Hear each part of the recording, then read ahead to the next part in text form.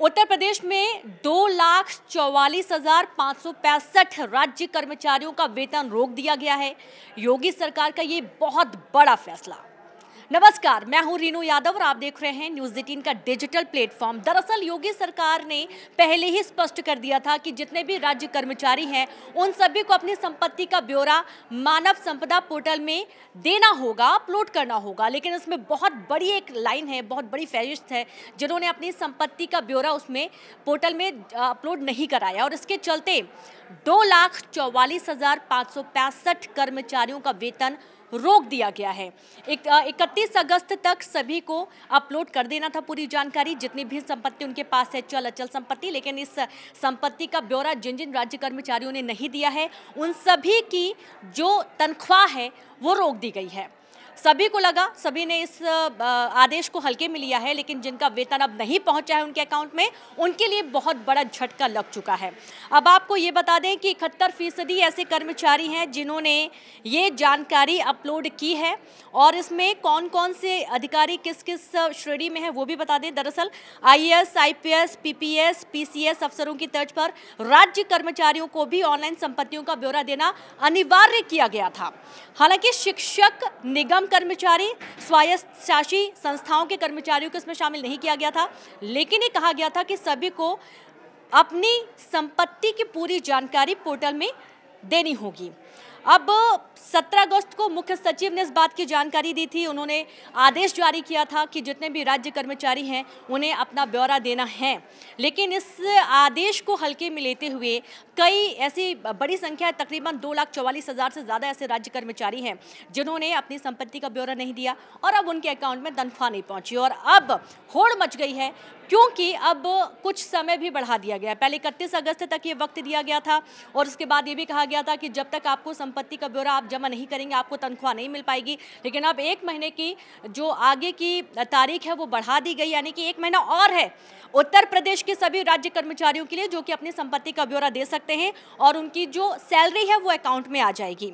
अब ये भी बता दें कि 31 अगस्त तक संपत्ति का ब्यौरा देने वालों को ही अगस्त माह का वेतन दिया गया है। ये पहले ही कह दिया गया था, वरना संपत्ति का अगर ब्यौरा आपने नहीं दिया है तो तकरीबन आठ लाख छियालीस हज़ार छः सौ चालीस राज्यकर्मी हैं, जिनमें से छः लाख दो हज़ार पचहत्तर ने ही मानव संपदा पोर्टल पर अपनी संपत्ति का ब्यौरा दिया था। चल अचल संपत्ति दोनों का ही ब्यौरा देना था।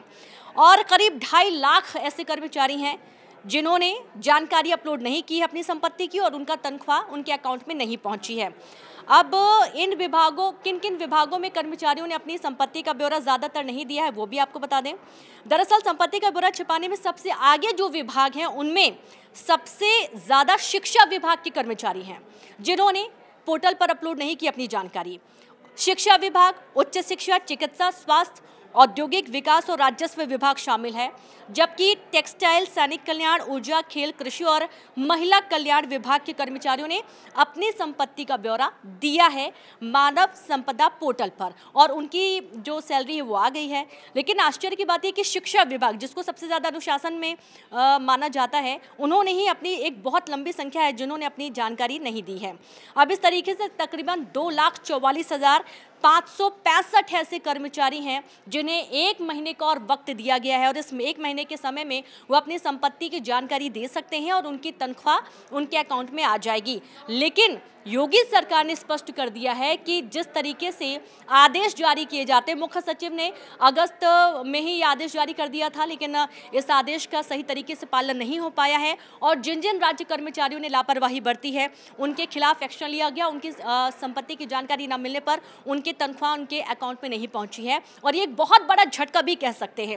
लेकिन अब ये समझना होगा कि अगर कोई आदेश आता है, मुख्य सचिव की तरफ़ से कोई निर्देश आते हैं तो उसका पालन करना बहुत ही अनिवार्य है सभी राज्य कर्मचारियों के लिए, वरना एक बार फिर आपको बड़ा झटका लग सकता है।